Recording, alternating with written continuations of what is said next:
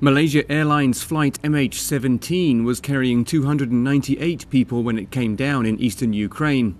Of the passengers so far identified, there were 154 Dutch, 27 Australian, 23 Malaysian, 11 Indonesian, 6 British, 4 German, 4 Belgian, 3 Filipino, and 1 Canadian.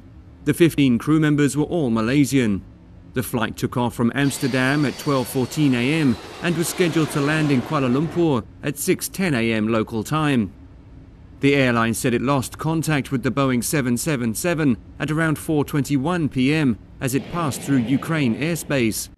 Reports say the plane was flying at an altitude of about 10,000 meters or 33,000 feet when it came down. The aircraft was reportedly flying over rebel held territory in eastern Ukraine when it went down. The plane crashed east of Donetsk near the town of Grabovo, roughly 40 kilometers from the Russian border.